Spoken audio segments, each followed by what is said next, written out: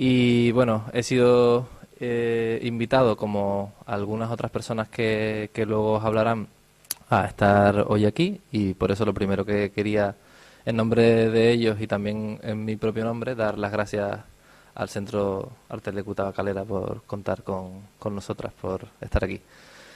Eh, bueno, sabéis que estamos en el contexto de, de Jolasean, que, que, ha sido organizado, como, como digo, por el Centro de Creación Arte de Calera y bueno, estamos en el contexto del videojuego en la cultura contemporánea, en una serie de, actividades que, que, se están llevando a cabo y esta es una de ellas y en concreto se titula El juego de la oca en red, narrativas audiovisuales en la era de la ludopatía digital.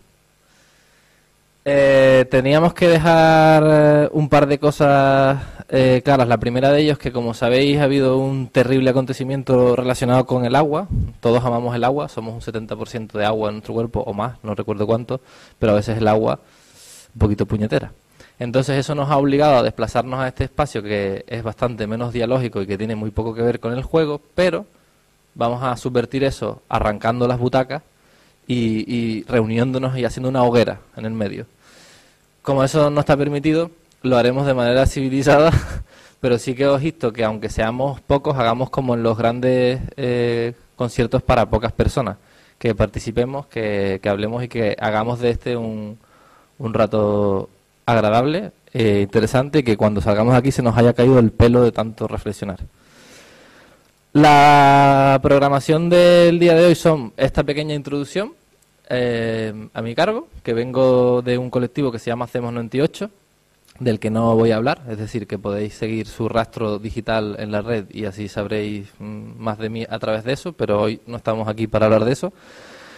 Y, luego vamos a tener eh, sesiones de media hora donde las diferentes personas invitadas van a exponer básicamente su, su tesis principal sobre el tema propuesto y, después tendremos un, un, descanso y un diálogo colectivo. Eh, bueno, esas personas son Jordi Sánchez Navarro, cuya que está sentado detrás de Alberto, que es la persona que está aquí. Su sesión se va a llamar eh, Juegos Digitales, Cosmogonías de la Vida Cotidiana. Luego hablará María Yáñez, que está ahí detrás, con esa sonrisa que la hace ser tan maravillosa, que yo adoro su sonrisa.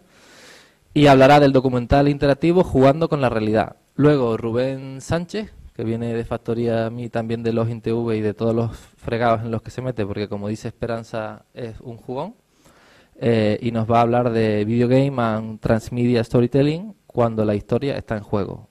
Luego, mi querido Alberto Toñasi, que hablará de jugadores y jugadoras ubicuas, y Guillermo Zapata, que tenemos aquí a mi derecha, aunque en otro sentido está muy a la izquierda, de los juegos de rol a la cooperación transmedia, de analogía a digitalia. Bien, eh, dicho esto, hay que decir que el evento está siendo retransmitido por streaming y que además se puede seguir a través de los usuarios de Twitter, en concreto el de Tabacalera, eh, y la hashtag o la etiqueta, la palabra clave para seguirlo es Jolasean. A su vez hemos puesto la pantalla donde se van a ir mostrando muchas de las cosas que se están conversando en tiempo real mientras estamos aquí. Eh, y, y, por último, aunque ya la haya citado, le quería dar las gracias a Esperanza porque es una tía de puta madre y porque es una curranta y porque ha soportado que la llame a las 10 de la noche más de un día para hablar de temas relacionados con esto. Así que eh, muchas gracias, Esperanza. Vale, eh, ahora solo me queda responder a la pregunta de por qué estamos aquí, que podríamos hablar de teología y filosofía, pero vamos a hacer una cosa mucho más. Dentro de la propia dinámica del encuentro, hemos creado una serie de reglas de juego internas y solamente vamos a explicitar algunas de ellas. Y la primera era eh, hablar de cuándo fue nuestra primera vez en contacto con el trinomio juego, eh, audiovisual, digital. Es decir, con esas tres palabras, ¿cuál fue la primera vez que cada uno de, nosotros se relacionó con, eso? Entonces, podéis observar ahí, ese soy yo, cuando era muy pequeño. No sé si los que estáis ahí lo veis bien, pero para que veáis la cara de pardo que tenía, Eh, y no sé, no sé quién me puso eso, no sé cómo llamarlo, porque ni siquiera son cascos, ¿no? Es como los, los que se utilizan en las obras para que no te quede sordo.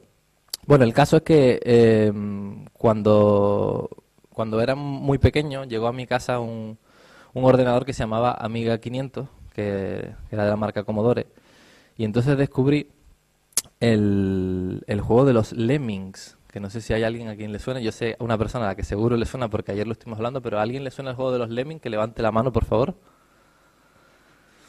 Vale, este juego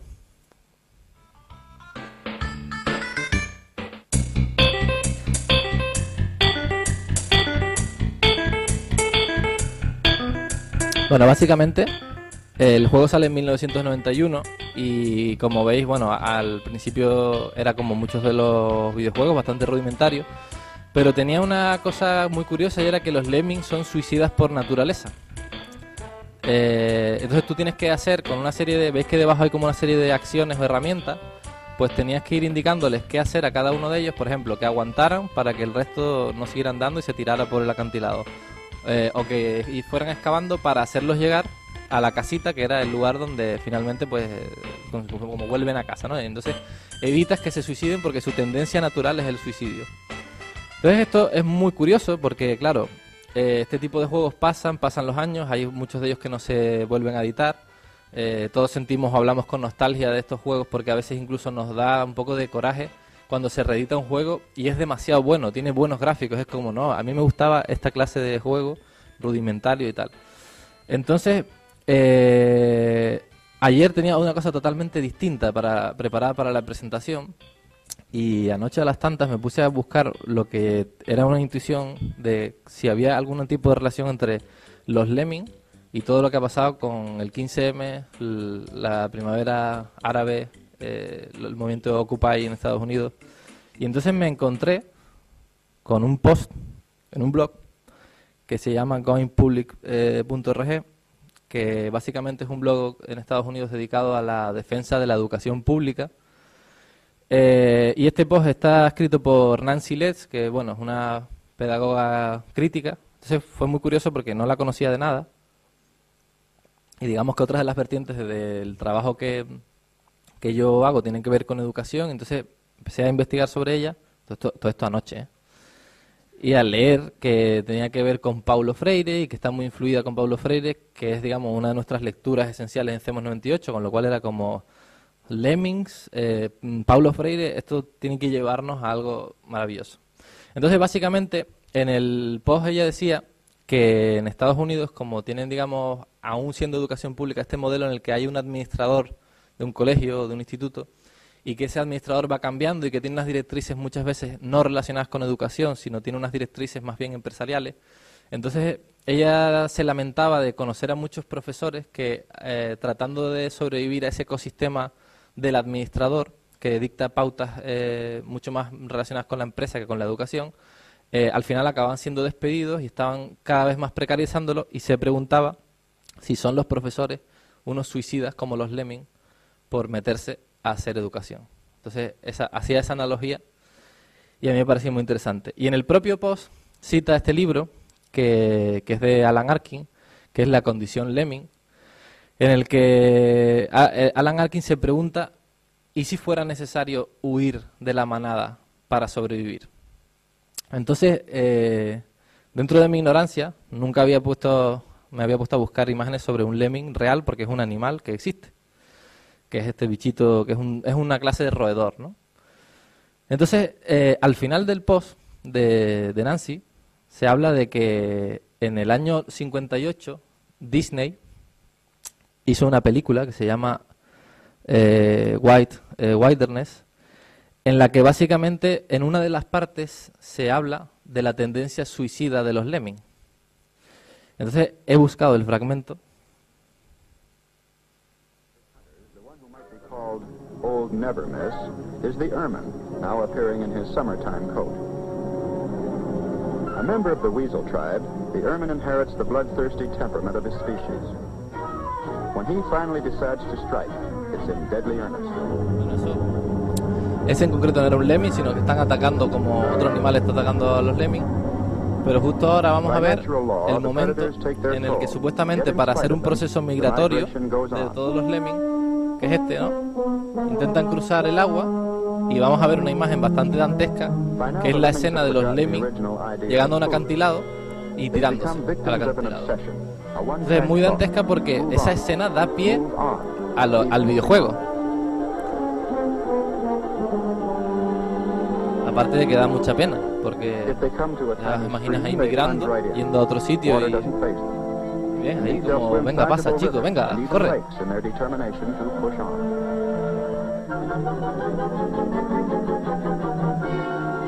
Además, típica, la música típica de la época, la narración de... Y ahí está el acantilado. Ahí están los tambores, para que nos demos cuenta de que es un momento importante. Their frenzy takes them tumbling down the terraced cliffs, creating tiny avalanches of sliding soil and rocks, and seemingly indestructible lemmings. Todavía hay una imagen peor que esta que viene ahora. Digo por, por hacer spoiler, que ahora estoy a favor de ello. Esto más. Tambores de nuevo. This is the last chance to turn back. Violini. Yet over they go, casting themselves bodily out into space. Y todavía se curraron un plano mucho más espectacular, como venga, vamos a hacer un plano subjetivo, ahí, ahí. Es impresionante. Vale,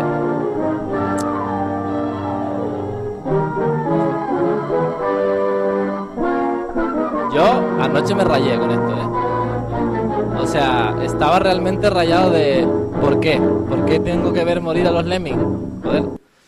Bueno, pues que sepáis, y aquí viene el cierre de todo esto, que en el año 82 la revista The Fifth State, perteneciente a una cadena canadiense pública, difundió un artículo sobre el maltrato animal en la que se sugería que en realidad no se trata de una filmación, sino que los lemmings fueron forzados al suicidio por los documentalistas.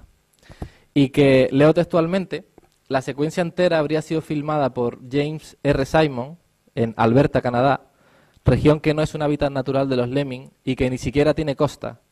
Los realizadores habrían comprado algunos lemmings en cautividad y los transportaron al lugar del rodaje. Una vez allí colocaron sobre una superficie artificialmente cubierta de nieve y lo firmaron desde varios ángulos para intentar crear el efecto de una migración en masa. Finalmente, filmaron a los lemmings mientras estos, inducidos por los propios documentalistas, se precipitaban por un barranco.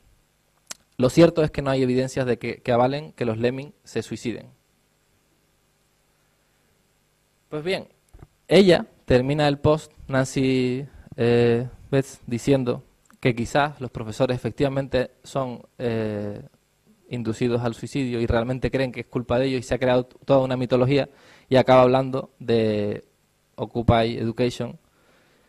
Y el viaje que vamos a hacer hoy aquí es un viaje entre la película de Disney, el videojuego de los Lemmings y este post que me encontré ayer, porque conecta realmente todas las cosas. Y lo que vamos a intentar es rellenar los huecos, hacer un viaje en la que hablemos de identidad múltiple, de simulación, eh, de ficción, de la sociedad teatralizada, de los videojuegos, de la remezcla, del ensayo y el error, de la alteridad, de los roles, de la desconexión, etcétera. Así que después de introducción doy paso a mi compañero Jordi.